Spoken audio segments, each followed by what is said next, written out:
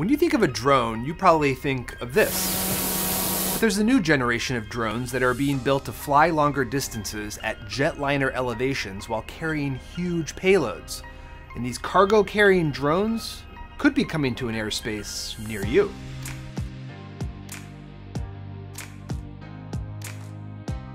Cargo drones could potentially upend the logistics industry, making deliveries that are safe and efficient and environmentally sustainable, they could also be a regulatory nightmare. But there's a reason that giant companies like Google and Amazon and UPS are pushing ahead with their plans to fill the skies with cargo carrying drones. Money.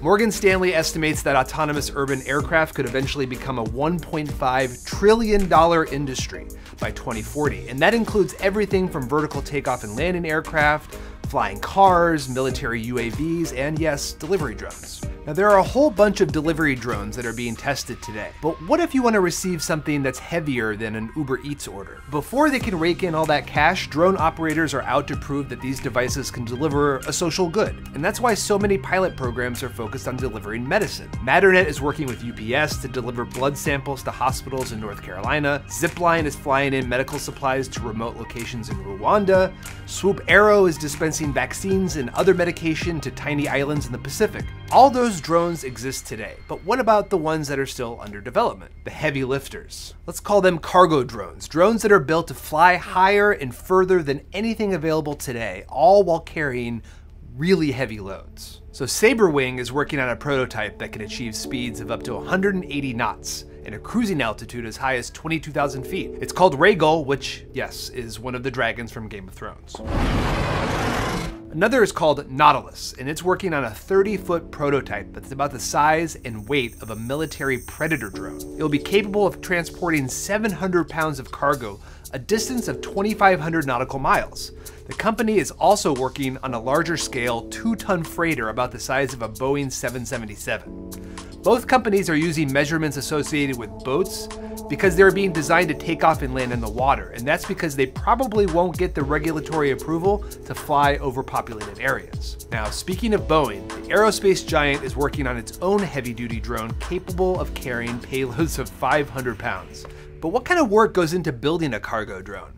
To find out, we visited the offices of Elroy Air in San Francisco to see that company's autonomous VTOL drones for ourselves. Elroy's CEO, Dave Merrill, talked about the challenge of building an aircraft capable of carrying this kind of weight.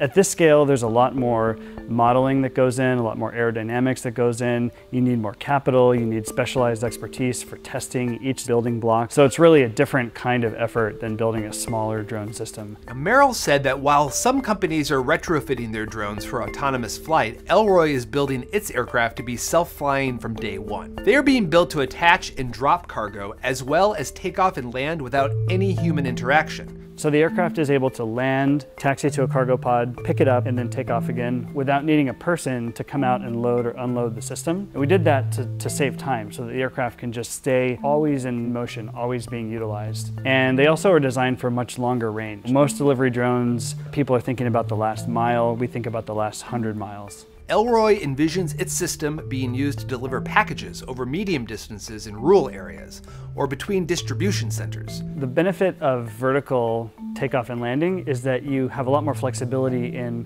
where the system can operate from. So it can take off and land from an airport or a helipad, but also it can take off from a parking lot or the rooftop of a parking garage, or even a field. The company hopes to have a fleet of autonomous drones in the air making deliveries by 2020.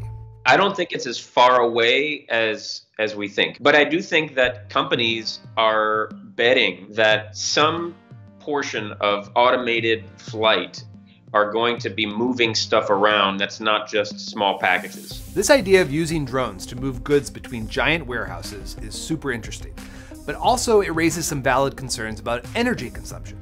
A 2018 study in the journal Nature found that electric drones were way more efficient than trucks and vans and cars. A drone can reduce greenhouse gas emissions for package delivery in most areas of the country by a decent amount. And in really low uh, carbon electricity grids like out west and in New York State, uh, it, it, can reduce it by half or more. And though the study found that benefits may be reduced once the electricity used for recharging and warehousing was factored in, drones clearly have less environmental impact than a one item delivery by car. Today, the big problem is regulation. The unresolved issues include whether it is safe to allow drones to fly beyond a pilot's visual line of sight, or to operate at night, or to fly over people.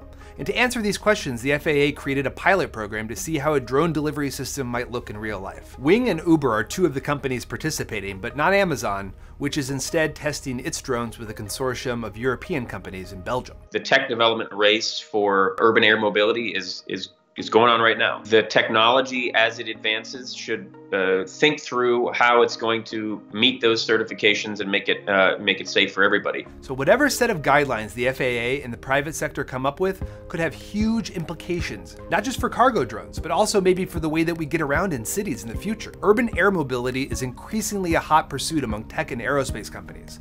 As ridiculous as it sounds, the idea of flying cars is gaining serious traction. People are investing hundreds of millions of dollars in drone companies today because they believe that they will be more efficient and better for the environment than the current system. And that's making people really nervous. A Pew Research Center survey in 2017 found that 11% of Americans support drones, while 34% favor some limits on them.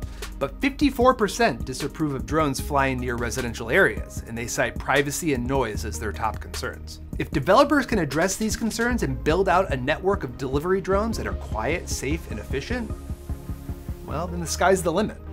Like, I'm just thinking, if I can get a bed, a new bed delivered to my apartment via drone, I mean, it might make my neighbors nervous, but that could be amazing.